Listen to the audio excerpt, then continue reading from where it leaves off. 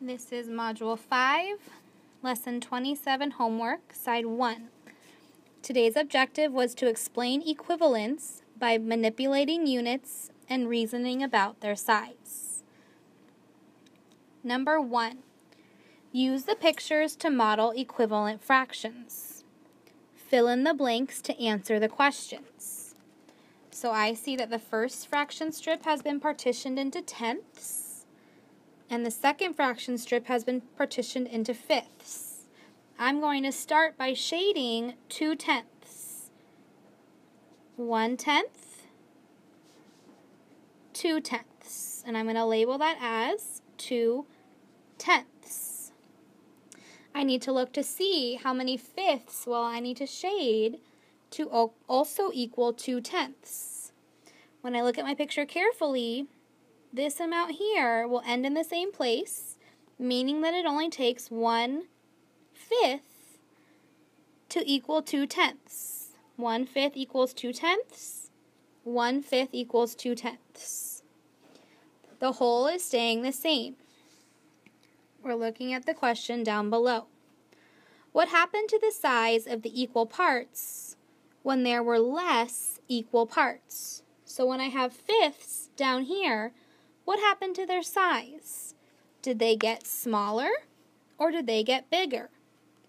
When I look at those fifths, they're bigger than the tenths.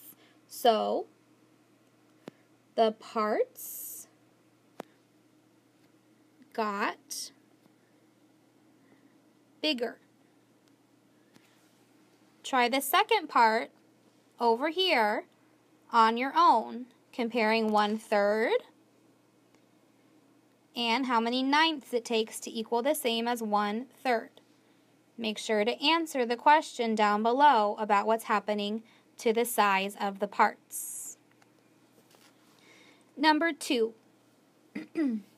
eight students share two pizzas that are the same size, which are represented by the two circles below.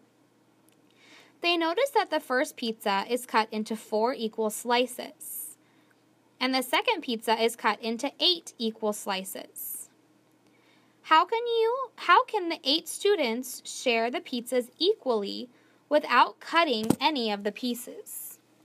So I'm going to start by partitioning one pizza into four equal slices. And then I'm going to partition the other pizza into eight equal slices.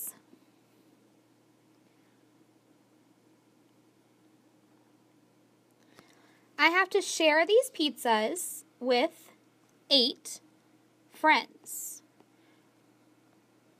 So to start, I'm going to give one friend this amount. My second friend is going to get that amount. My third friend is going to get that portion and my fourth friend is going to get that portion.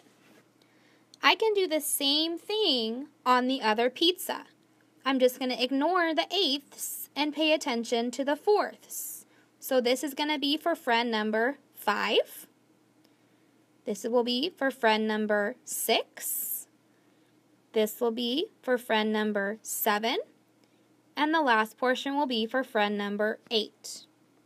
The reason this works is 4 fourths is equal to 8 eighths. Or one section, which is 1 fourth, is the same as 2 eighths, which we had to find on the other pizza.